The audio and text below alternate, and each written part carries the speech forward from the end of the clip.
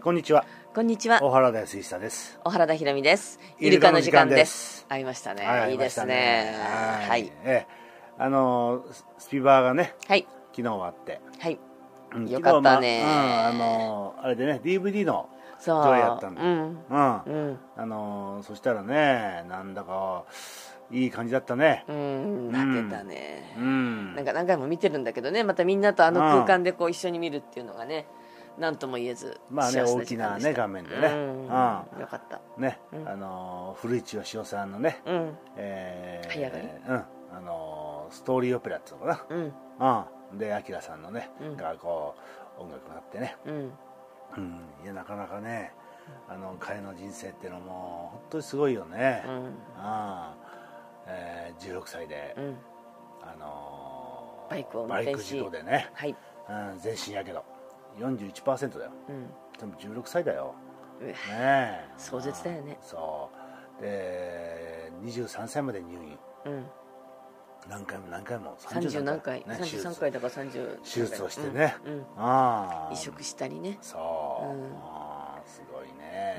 まあその中でもね一生懸命こう明るく生きようとするわけだよね、努力をするという、ああそうでもそこでもドラマいっぱいあってね。うん。うん多分でもあれに語れないだけのものはあるんだよね。足りないと思うよ、多分1日24時間のうちでもさ、うん。大丈夫というのとダメだっていうのとのこのこう絶望とさ、うん。あの繰り返しだろうし。う、ん。ねすごいと思うよきっと。そうだよ、うん。だから1時間ね、えー半時ぐらいのうん。あれだけどそれじゃ語れないよ、そりゃそうだよね。ああだから本当にどうどういう日々を送ったかさ。うん。ああ俺はもうそんななんていうの生久しいもんじゃないよね。そうだね。ああまあ本当に彼のその人生をね、うん。えー語りと音楽でずっとね見せてくれるんだけどさ、うん。うん。あのー本当ねもうみんなこう涙してたもんな、泣いてた。うん。あだから本当に生でね、うん。うんあのーストーリーオペラ、そうだね。ぜひねやりたいなっていうんでね。そうだね。うんまあその一つのなんだきっかけにはあったね。そうだね、うん。こういうのやったからちょっとお友達に声かけてとかね。今回の人たちにちょっとお願いしてやれたらいいね。うん。だから、本当にすごいからいいよっていうね、うん。まあ声かけもいいけどああいうふうに実際に見てね、うん。で感じてもらって、うん。でその中からね、うん。えーこうなんかイベントを立ち上げていくっていうのもね、うん。これ面白いかもしれないなと思そうだね、で昨日はまあちょっと人数はね少なめの、うん。うん、スピパだったんだけども、うん。あの聡子さんがいらっしゃっててピアノをね。そうだね。う、ん。うん。彼女はあのねあそこで、えーキャンディケートでうん。ライブ活動やったりするんだよね、うん。で作詞作曲やったりね、うん。まあ、CD も出してるし、うん。うん。あのーまあ彼女自身も苦労した人だから壮な絶な人生を。ああね本当にがんでね、うん。あの生きる死ぬというそのところまでね。うん。うん行ってるわけだからさ、うん。うん、だけどその宮古島っていううん。ね、えーエネルギーがね、うん。彼女を生き返らせたわけだよ、なんだろうね。例えば小笠原でお茶がさ、うん。がんというものからこうねあの縁が切れることになったりとかさ、うん、やっぱり土地のエネルギーってすごいよね。そうだね。だからその土地のエネルギーと自分とのこう共鳴っていうかさ、うんだからさすごくねあの心と本当に密接に関係している病気なのかもしれないね。そうだね。あるいは病気っていうのは全部そうなのかもしれないし、そうだね。うん、で、まあ、土地のエネルギーとそうだし、まあ、その土地でこう出会う人たちとかね。そうそうそう。の土地でどういう体験をするかとか、うんそうね。そういうのがなんかこうバーッとうまい具合に絡んだ時に、まあ、ミラクルというか奇跡というか奇跡的な治癒のきっかけをつかめたりとかね。そうなんだよね。奇跡的な治癒が起こったりとか人生の転換が起こったりとか。うんするよね。そう。でまああのそういう人には、まあ、本当にね役割があるんだよね。やるべきことがあっそれをてさ伝えていくとかさうん。なんかやっぱり励ましていくとかさ、うん。なんかすごい役割をもらっちゃったんだよね。そうだよね、うん。だ気づかされたというか。だから今さあの本当にがんが良くなったっていう人はさ結構こう重度のねうん。結構いるわけよ。うん。ね、だからそういう人たちってさ、うん。やっぱりこうもうがんって言うともう我々はもう死を意識していまだにね。ね、ううん。んしまうわけじゃ真っ赤の本当に気持ちが落ち込んでしまう。うん。だけどもさそういうやっぱり実際に治った人たちがねうん。もうたくさん現れてくるとさ、うん。えー変わってくるじそうだね。ゃん、うん、不治の病じゃないんだって。そう。うん、どう戦おうかみたいな、うん。うん。もしくはどう共存しようかという方もいらっしゃるしね、そうだよね、うん、叩くのではなくがんと共存するという。そうそうそう、うん。だそういうふうなさ、うん。えー価値観変わっていくきっかけになっていくわけよ。うん。だから昨日の古市さんにしたってさ、うんああいうふうなもう16でさ、うん。あんな大大やけどを負ってしまった、うん。もうさ普通考えたら人生おしまいじゃん。うん。そうでしょ？うん。うん、もう本当になんていうのかなって指もさ動かないし自由にね。あのマイク持ってるって痛々しいよね。うんそうだよね、うん。それでもう顔だってさ、うん。ねもう本当本当すごい継ぎはぎだらけの状態になってるわけでしょ、うん。そういう中でさ、うん。えーあとじゃあ何十年もうん。っということはもう絶望の中で生きるしかないわけじゃん。ていうか絶望というか死ぬことすらできないんだよね。ね。彼は何度も自殺しようと思ったんだけども、うんそうそう。自殺する力も残ってないわけだよ。そう。だけどもさああいうふうな人がいるっていうことでさ、うん。あの決してそのね、うん。我々が普通に考えてる、うん。まあ教え込まれてるというか、うん。いわゆる不幸うん。というものがさ、うん。果たして本当にそうなのかとうんいうことじゃん。ね、お金がない不幸なの、病気が不幸なの、仕事がない不幸なの、うん。本当そうなのってことだよね。そう、うん。で彼なんかもねもしタイムマシンで、うん。ね、その事故の前に戻ったら、うん。もう一回ね、えーやり直すかってうん。いうふうなこう小学生のうん。問いがあったっていうけどさ、うん。でも自分は今がいいんだって。うん。やっぱあのあれがあったからあの事故があったからこそ今があるんだっていう、うん。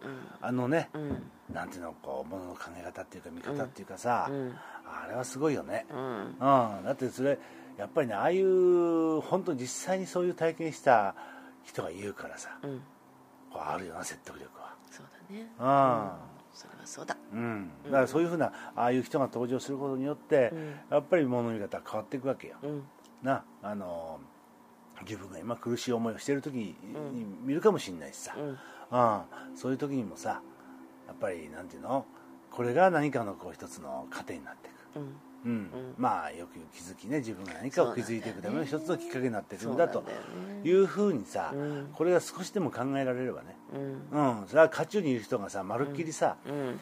ああいうふうになって無理だよやっぱりその段階があると思うね、うん。だからその渦中にいる人や渦中にいる人の気づきがあるだろうし、うん。ちょっとそこからこう結びがさしてきた人には結びがさしてきた人の何かあるだろうし、うん。でもある時やっぱり強烈にガーンと光が差す時があるんだよ。そうだよ。だから一つのなんていうの？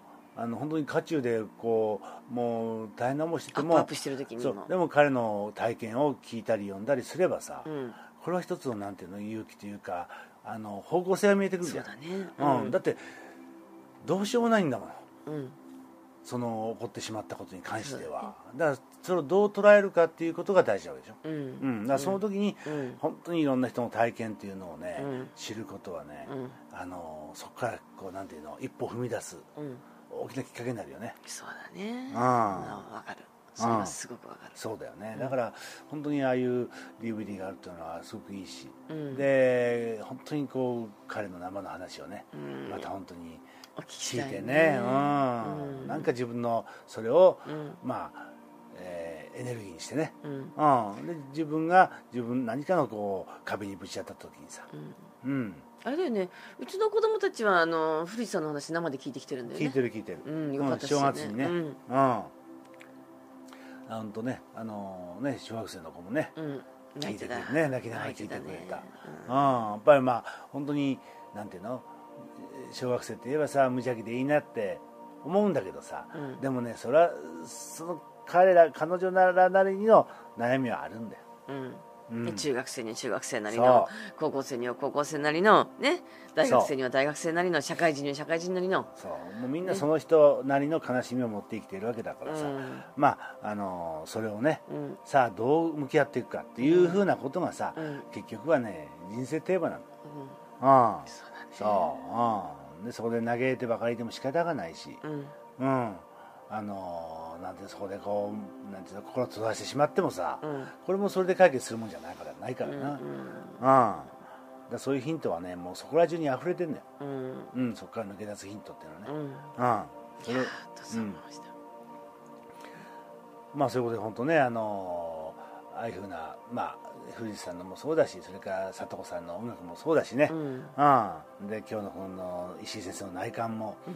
そうだしさ、うん。うん、やっぱりそういった中からね、うん。やっぱりこう何を学んでいくかその知識を超えたもんな、うん。うん、知ってる知ってるって話じゃなくてさそうそう。あ聞いたことある。じゃなくてそれをどういうふうに向き合うかじゃない、うん。例えばそう我が家ではあの DVD は別にうちで何回でも見れるわけだよ、うん。でもこのうちで見るという場ではない場所で見ることに、やっぱり昨日はすごい意味があったんだよね。そういうことよな、うん。うん、そう思った。そうだね。また違ったもん。うん、で違う感じが出るよね、うん。まあだからその場のエネルギーもあるしいろんなものがねあの作用するんだよ、うん。ね、だからそんなことでさそうだね、うまあああいうたまにはね企画もやって、そうだね。ねああアットホームな感じでねいいんじゃないでワイワイやるのも今度楽しいね。佐藤さんのピアノっていうのもねなんか子供たちすごい楽しんでたからそんなのも含めてねやっていきましょう。やっていきたいですね、はい今日は石井先生頑張りましょう。はいどうもありがとうございました、ありがとうございました